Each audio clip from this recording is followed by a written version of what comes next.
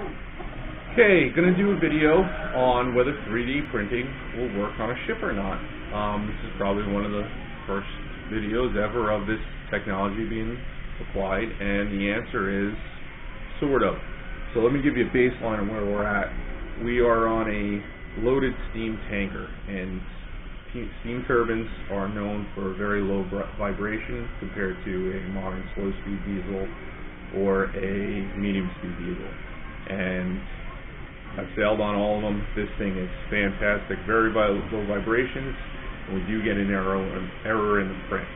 I'm only doing hobby quality prints. This is just a hobby for me to make models. Um, if you're going to do parts, you're probably going to have problems. So let me show you the results so far. All of my models come from Thingiverse, so I give credit to whoever's due. Um, this is the bathtub U-boat off the Thingiverse, and you can see right here to the right, we almost have a seismographic effect, and this was maneuvering on the Mississippi River with high vibrations, and then to the left, this was in port, and you get a much better result.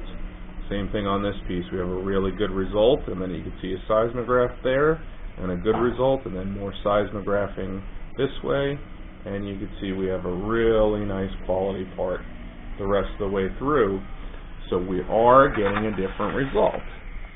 Now what I'm printing right now, this is the Liberty ship, also from Thingiverse, and what you can see is right about here down, we were in shallow water at sea in the Gulf of Mexico. And now we hit deeper water at some point here, we get a much better finish. And if you're seeing this on model parts, you're definitely going to see it on a parts quality part. And you're going to have issues on ships.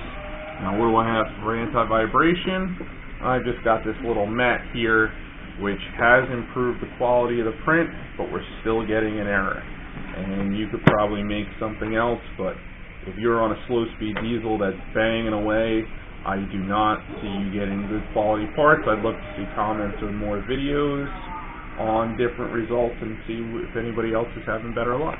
All right.